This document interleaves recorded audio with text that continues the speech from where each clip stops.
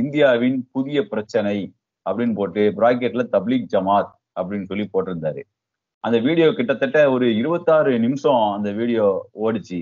அந்த இருபத்தாறு நிமிஷமும் இந்த இஸ்லாமிய சமூகத்தை கேலி கூத்தாக்கி இஸ்லாமியர்கள் அல்லாதவர்களிடத்துல இஸ்லாமிய இஸ்லாத்தை பற்றி ஒரு தவறான ஒரு எண்ணத்தை விதைக்கக்கூடிய ஒரு வேலையை தான் அந்த வீடியோல செய்திருந்தாரு. ஏன்னா தப்ளிக் ஜமாத்து தான் அந்த கொரோனாவை பரப்புனாங்க. இது வந்து ஒரு ஜிகாது ஒரு தீவிரவாதம் போர்ல கூட அவ்வளவு பேரை கொல்ல முடியாது.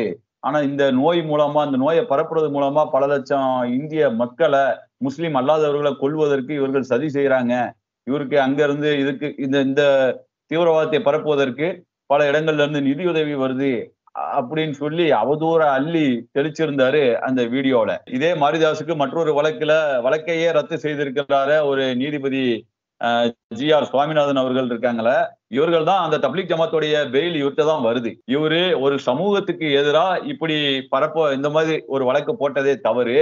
இந்த வழக்குல பெயில் மட்டும் இல்ல இந்த வழக்கையே நான் என்ன செய்யறேன் ரத்து செய்யறேன் அப்படின்னு சொல்லி இதே மாதிரி அந்த நேரத்துல தப்லீக் ஜமாத்து மீது போடப்பட்ட அனைத்து வழக்குகளையும் ரத்து செய்தது அவர்தான். புகார் கொடுத்து ஒன்றரை வருடத்திற்கு பின்னாடி இப்போ காவல்துறை நடவடிக்கை எடுக்க வேண்டிய அவசியம் ஒரு விமர்சனமா எழுந்திருக்கு.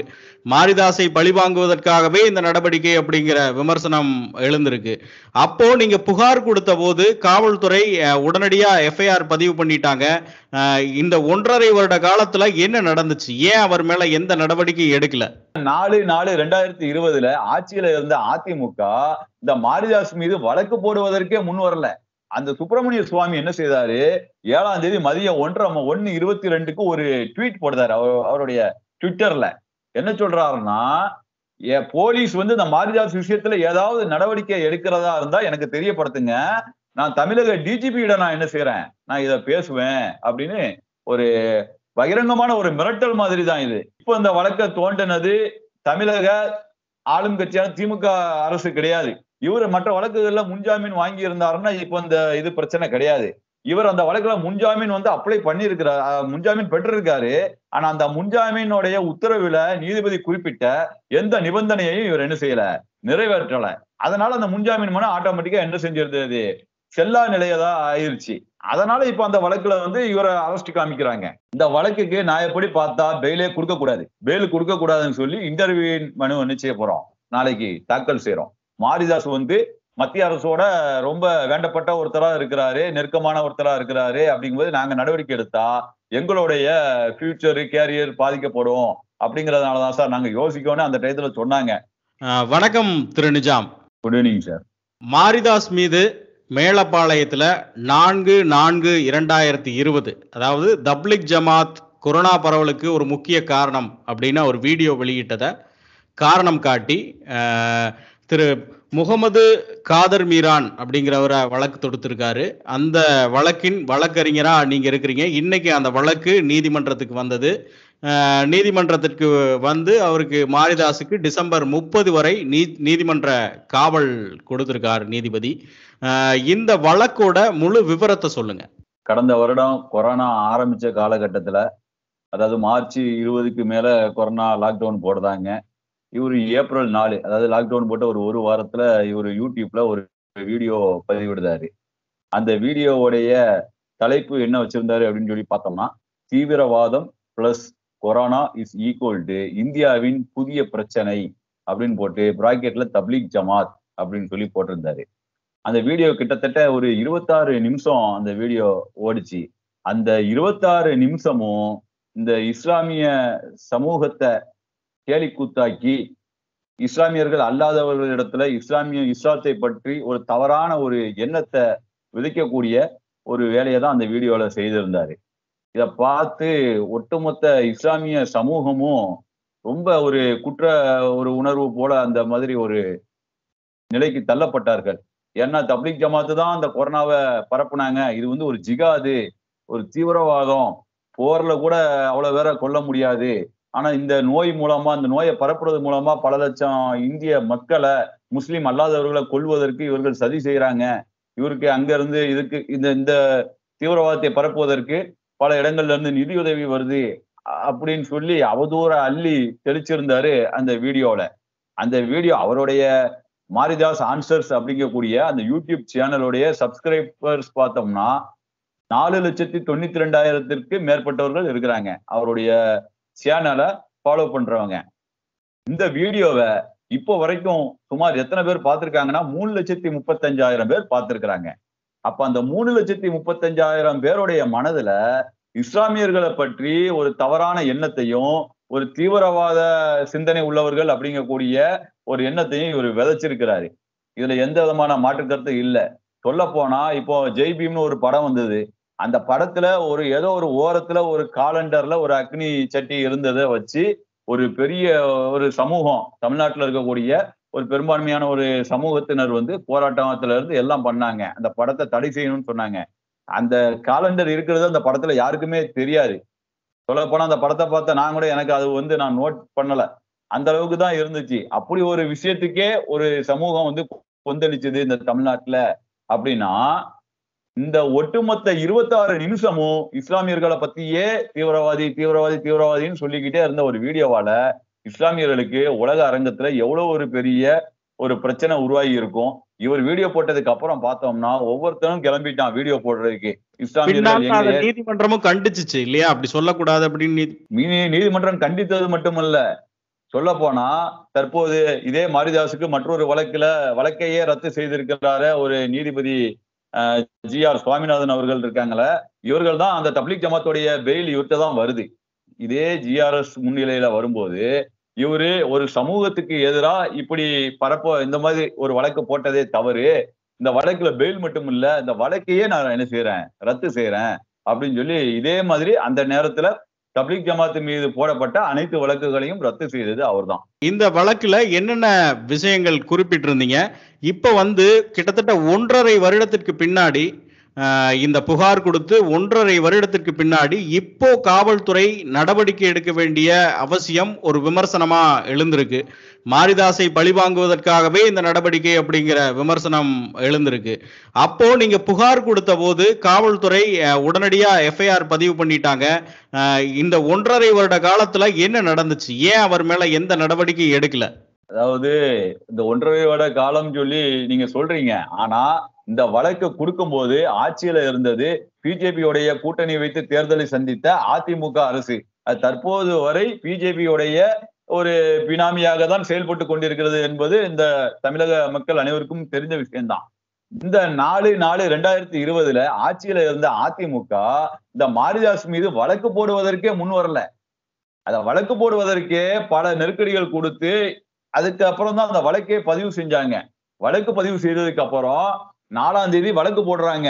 ஏழாம் தேதி சுப்பிரமணிய சுவாமி உங்களுக்கு எல்லாம் தெரியும். அந்த சுப்பிரமணிய சுவாமி என்ன செய்தாரு? ஏழாம் தேதி மதியம் ஒன்றரை ஒன்னு இருபத்தி ரெண்டுக்கு ஒரு ட்வீட் போடுறாரு அவர் அவருடைய ட்விட்டர்ல என்ன சொல்றாருன்னா போலீஸ் வந்து இந்த மாரிதாஸ் விஷயத்துல ஏதாவது நடவடிக்கை எடுக்கிறதா இருந்தா எனக்கு தெரியப்படுத்துங்க.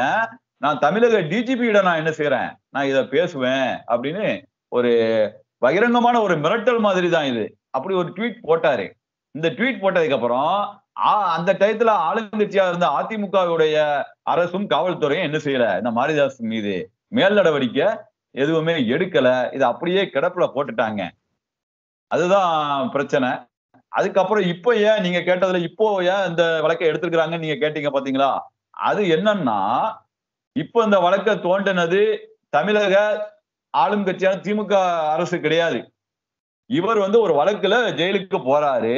அந்த ஜெயிலுக்கு இவர் போன உடனேயே என்ன செஞ்சிருவாங்கன்னா இவருக்கு என்னென்ன வழக்குகள் இருக்குதோ அந்த வழக்குகளை பத்தின எல்லா விஷயத்தையும் தெரிஞ்சுக்கிடுவாங்க. இது வந்து சாதாரணமா நடக்கக்கூடிய ஒரு விஷயம். அப்படி தெரிஞ்சுக்கிடும் போது இவர் மீது உள்ள வழக்குகள் ஃபுல்லாமே வருது. அப்ப அந்த வழக்குகள்ல இவர் முன்ஜாமீன் பெற்றிருக்காரா? அந்த வழக்குடைய தன்மை என்ன அப்படிங்கிறத பார்ப்பாங்க. இவர் மற்ற வழக்குகள்ல முன்ஜாமீன் வாங்கி இருந்தாருன்னா இப்போ இந்த இது பிரச்சனை கிடையாது. இவர் அந்த வழக்குல முன்ஜாமீன் வந்து அப்ளை பண்ணியிருக்கிறார் முன்ஜாமீன் பெற்றிருக்காரு. ஆனா அந்த முன்ஜாமீனுடைய உத்தரவுல நீதிபதி குறிப்பிட்ட எந்த நிபந்தனையையும் இவர் என்ன செய்யல. நிறைவேற்றல. அதனால அந்த முன்ஜாமீன் மனு ஆட்டோமேட்டிக்கா என்ன செஞ்சிருந்தது செல்லா நிலையதா ஆயிருச்சு. என்ன அப்படின்னு பாத்தீங்கன்னா ஒருத்தர் முன்ஜாமீன் எடுத்ததுக்கு அப்புறம் ஜாமீன்தார் காமிப்பாங்க சம்பந்தப்பட்ட நீதிமன்றத்துல. அந்த ஜாமீன்தார் இவர் அதுக்கப்புறம் என்ன செய்யல? காமிக்கவே இல்லை. ஜாமீன்தார் காமிச்சதுக்கு அப்புறம் சம்பந்தப்பட்ட காவல் நிலையத்துல காலையில் மட்டுமோ அல்லது காலை மாலை இரு நேரங்களிலோ கையெழுத்து போட சொல்லுவாங்க. ஒரு குறிப்பிட்ட நாட்களோ அல்லது மறு உத்தரவு வரும் வரைக்கும் கையெழுத்து போட சொல்லுவாங்க. அதுவும் இவர் என்ன செய்யல? நிறைவேற்றல சும்மா பேருக்கு அந்த ஒரு ஏபி ஆர்டர் மட்டும் வாங்கிட்டு இவர் பெசாம இருந்ததுனால அந்த முன்ஜாமீனுடைய உத்தரவு வந்து செல்லா நிலையதாயிட்டு. அதனால இப்ப அந்த வழக்குல வந்து இவரை அரெஸ்ட் காமிக்கிறாங்க. மத்தபடி இது வந்து ஒன்றரை வருஷத்துக்கு அப்புறம் பழிவாங்கக்கூடிய நடவடிக்கையா இந்த வழக்குல போய் கைது பண்ணிட்டுலாம் என்ன செய்யல?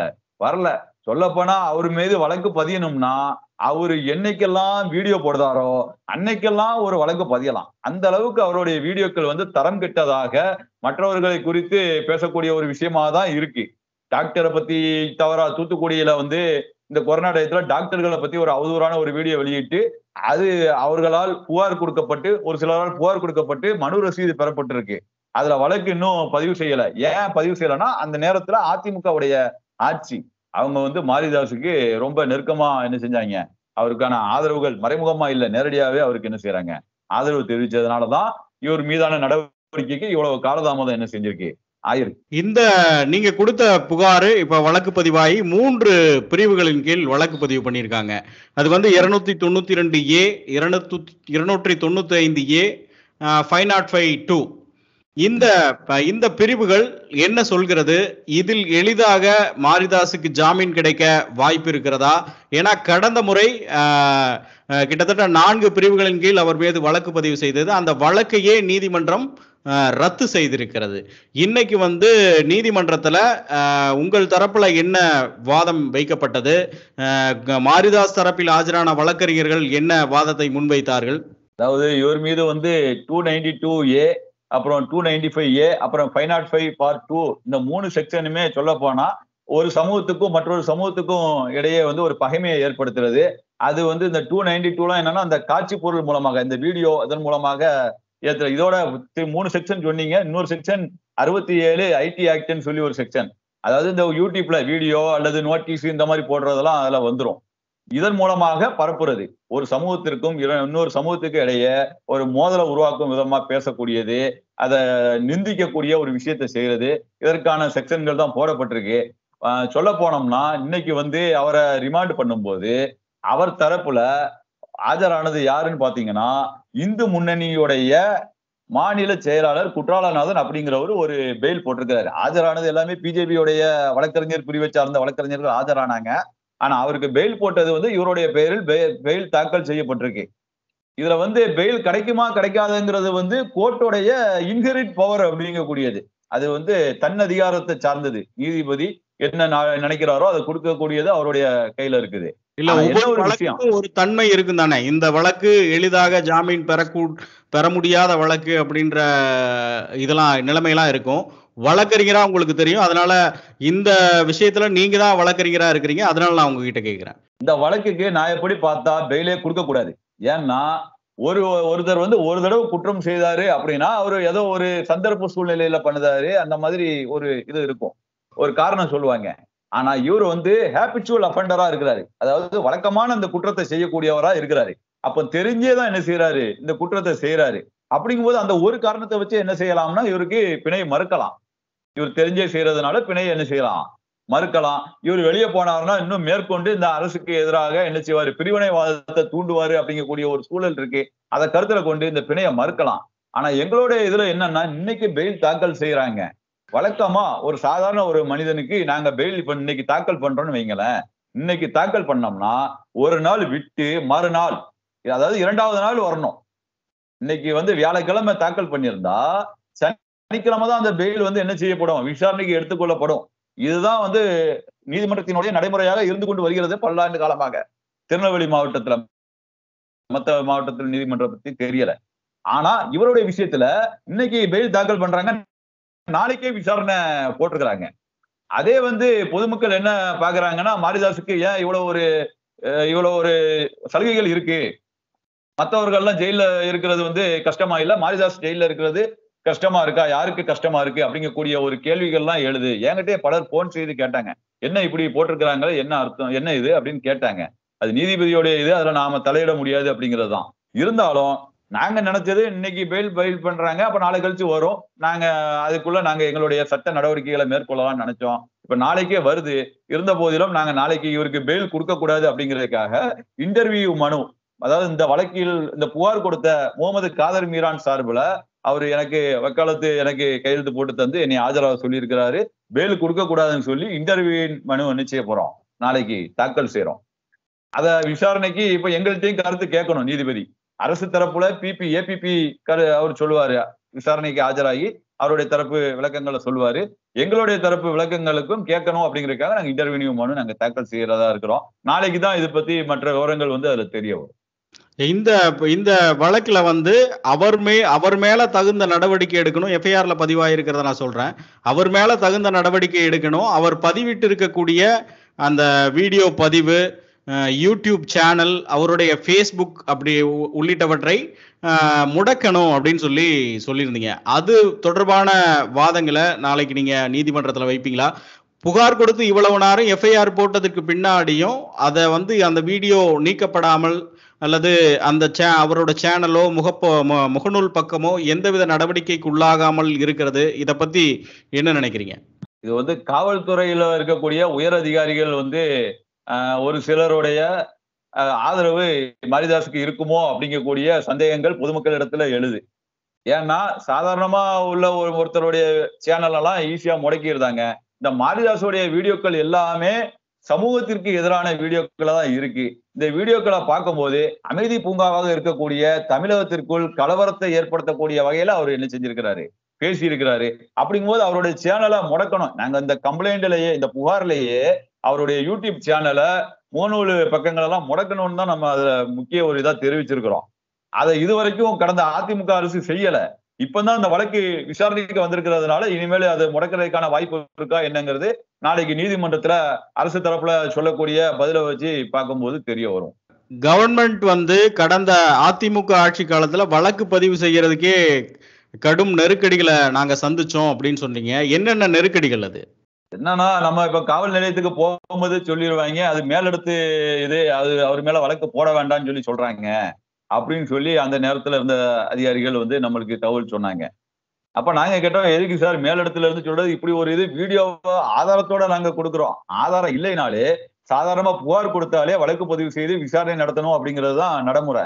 ஆனா நாங்க வீடியோ ஆதாரத்தோட ஒட்டுமொத்த சமூகத்திலும் பாதிக்கப்பட்டிருக்கு. அந்த புகார்தாரர் சொல்றாரு என்னுடைய மனது புண்படுத்துது. எனக்கு ஒரு பயம் ஏற்பட்டிருக்கு. இவருடைய பேச்சினால கலவரம் ஏற்படுமோ என்ற பயம் ஏற்பட்டிருக்கு. சொல்லி ஒரு புகார் கொடுக்கும்போது நீங்க ஏன் இப்படி நடவடிக்கை எடுக்கிறதுக்கு நீங்க தயங்குறீங்க? அப்படின்னு சொல்லி கேட்கும்போது இதைதான் சொன்னாங்க.